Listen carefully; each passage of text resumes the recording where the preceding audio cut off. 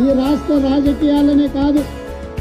దేశ రాజకీయాలలో తదనైన ముద్ర వేసి దేవగౌడను ప్రధానమంత్రి చేసిన సందర్భంలో తనకు ప్రధానమంత్రి అయ్యే అవకాశం వస్తే కూడా ప్రధానమంత్రి పదవి తీసుకోకుండా తెలుగు రాష్ట్రాలు మరీ ముఖ్యంగా తెలంగాణ ప్రాంతాన్ని అభివృద్ధి చేయవలసిన బాధ్యత ఇక్కడి ప్రజలకు అండగా ఉండవలసిన బాధ్యత నా భుజాల మీద ఉన్నది.